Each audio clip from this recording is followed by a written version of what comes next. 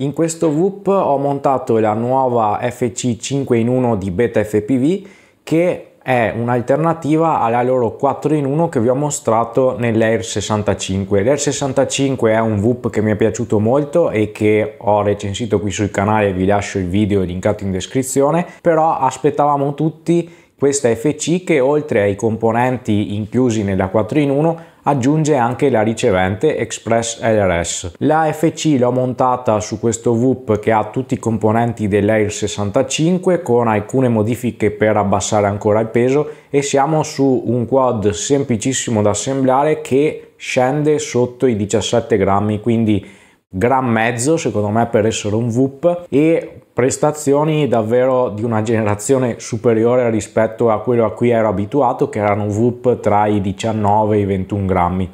Io sono Mattia e in questo video andiamo a vedere la FC e anche a consigliarvi come assemblarla su questo VUP che è secondo me la scelta migliore per chi poi vuole andare a fare le gare e quindi avere anche una FC legale perché il problema della 4 in 1 era la potenza della VTX che era troppo alta rispetto ai 25 mW dichiarati e con qualche disturbo nelle altre frequenze vicine. Invece ora dobbiamo vedere com'è questa nuova FC perché a quanto pare Beta FPV è riuscita a risolvere i problemi che aveva sulla 4 in 1. Prima di iniziare con la FC nuova andiamo a vedere questo che è l'Air 65, vedete che ha la FC triangolare è quello che sto usando adesso e vediamo quanto pesa finito con qualche modifica che ho fatto tra il momento in cui ho pubblicato la recensione ed ora. Vedete che siamo sotto i 17 grammi quindi 17,93 con pochissimi accorgimenti. Ho tolto la protezione dal cavo qui dell'alimentazione e poi ho tolto il termorestringente dai pad dei motori e poco altro, ho tolto forse, ah ecco le vite qui dietro e poi il resto ho fissato con un po' di nastro biadesivo, qua si potrebbe limare qualcosa togliendo il termorestringente dalla ricevente, però alla fine penso che questo sia già un peso ottimo per un VUP. Pensate che l'anno scorso il mio VUP pesava questo 22 grammi e rotti quindi 5 grammi in più e si sentono tutti la differenza tra questi due VUP in volo è assurda e veramente questo vola quasi quasi come un 3 pollici come risposta mentre questo vola come un VUP, cioè certe cose proprio non riuscite a farle. Ora vado a smontare questo VUP in modo da avere la FC dissaldata da tutto per andare a pesarla in confronto a questa che è la nuova FC di BetFPV, la 5 in 1. So già che in teoria questa dovrebbe pesare un pelo di più della 4 in 1 più ricevente se si va ad accorciare i cavi e togliere il termorestringente. La domanda è se pesa di più anche senza fare queste modifiche o comunque capire quali vantaggi si hanno con la 5 in 1 anche a livello di spazi. Quindi ora smonto, confrontiamo il peso delle due FC e poi rimonterò lo stesso quad con questa FC e vedremo il peso finale, quindi con la FC nuova 5 in 1. Ho smontato il VUP e ora andiamo a confrontare il peso delle due FC. Questa è la FC 4 in 1 più ricevente più biadesivo per fissare la ricevente e termorestringente sulla ricevente con i cavi che possono essere ancora accorciati e pesa circa 4 grammi e 7 se andiamo invece a vedere la nuova FC 5 in 1 a cui ho saldato il cavo di alimentazione e ho messo un po' di stagno sui pad qui di lato per i motori in modo che comunque contiamo anche lo stagno.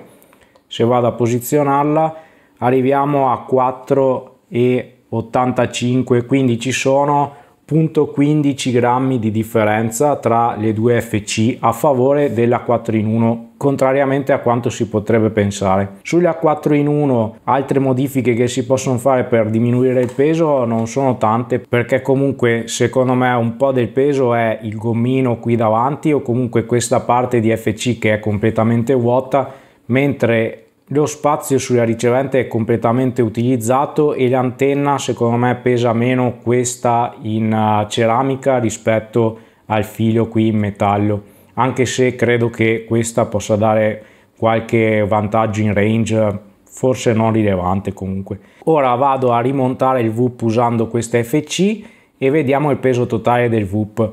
Una cosa comunque da notare di questa nuova FC è che hanno risolto completamente i problemi di VTX ho provato anche ad alimentarla e vedere effettivamente se la VTX spara di più o soprattutto se spara sugli altri canali e questa mi sembra abbastanza precisa. Non ho il misuratore dei watt quindi non so sui watt se è perfetta ma tutti quelli che ho visto che l'hanno misurata hanno trovato che spara sotto i 25 quindi è ok. Mentre per il discorso del andare a coprire gli altri canali guardando dal modulo del mio visore eh, analogico, cioè dal rapid fire, si può vedere che lo spettro eh, viene occupato solo in una banda, quindi non ci sono problemi da quel punto di vista. Devo dire che io ero stato fortunato anche con la 4 in 1 perché anche la mia 4 in 1 non so se spara effettivamente di più di 25 mW, però almeno non va a coprire gli altri canali, quindi credo che vada anche un po' a fortuna. In realtà ora è stato sistemato anche il problema sulla 4 in 1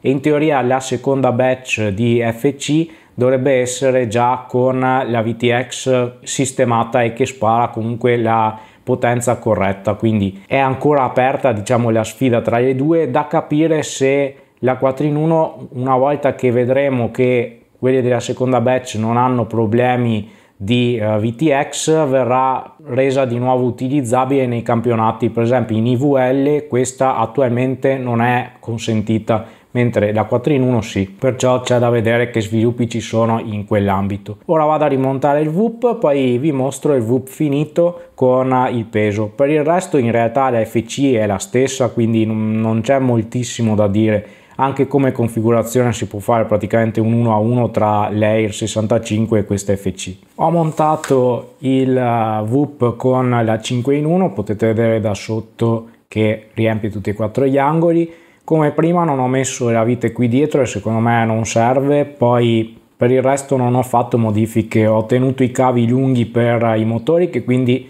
si può diminuire un po' il peso accorciando i cavi e anche mettendo dei cavi più leggeri non ho accorciato il cavo della batteria che potrei accorciare e poi per il resto niente ho messo un pezzettino di biadesivo per tenere un po' l'antenna anche se forse sarebbe meglio una goccia di cola a caldo e il supporto è quello progettato dai Team Blue Eyes per la cam di BTFPV la C03 che comunque è secondo me un'ottima cam per VUP. L'antenna è proprio la stessa che avevo nell'altro per avere meno variabili possibili ma come vedete ho cambiato il telaio perché già che c'ero volevo mettere questo rosa però li ho pesati telai e pesavano assolutamente uguali quindi non c'è nessuna variazione da quel punto di vista. Se andiamo a pesarlo siamo comunque sotto i 17 grammi prima ero 16,9 ora siamo a 16,96 prima l'ho pesato 16,97 non so bene perché cambia un po' il peso tra un momento e l'altro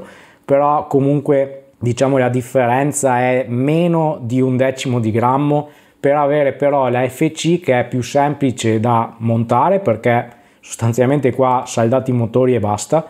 e il VUP comunque è legale nei campionati perché questa FC non ha problemi di VTX quindi va bene. Per uh, chi compra la FC e si assembla quindi il VUP usando questa FC e prendendo le parti singole, che è l'unica opzione adesso per usare questa FC, il prezzo totale del VUP è attorno ai 126 dollari usando le viti di plastica che io non ho ma che vorrei mettere. Con le viti normali sono 120 dollari, quindi spendete un 20 dollari in più rispetto al VUP già precostruito Air 65 e la scelta tra le due opzioni è semplicemente data dal fatto che se volete fare le gare fa- prendendo la 5 in 1 siete sicuri che la 5 in 1 non ha problemi di VTX se invece voi non vi interessa fare le gare girate in casa in giardino prendete la 4 in 1 perché la 4 in 1 spara di più. Quindi in gara è uno svantaggio perché vi squalificano ma se volate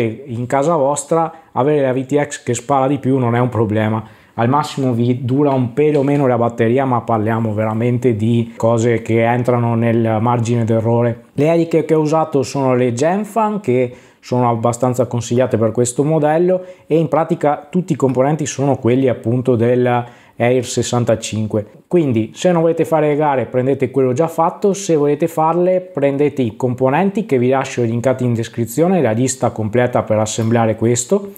e avrete un quad che vi soddisferà assolutamente. Ci ho fatto qualche lipo per sentire se c'era una differenza con l'altro, ma il VUP si comporta assolutamente in modo identico e anche il range della ricevente che è diversa tra uno e l'altro mi sembra comparabile. Per quanto riguarda la configurazione è semplice perché si può usare tranquillamente la configurazione dell'Air 65 quindi copiarla pari pari. La trovate nel sito di BetaFPV oppure se avete bisogno scrivetemi e vi mando direttamente quella del mio VUP. Una cosa che vi consiglio e che mi hanno consigliato quelli che volano tanto con i VUP e chi partecipa alla IVL che è il campionato italiano è di disattivare Air Mode ed ho visto veramente una differenza perché quando si sbatte se non avete Air Mode attivo riuscite a recuperarvi con Air Mode è un po' più difficile quindi sui VUP è forse meglio disattivarlo per il resto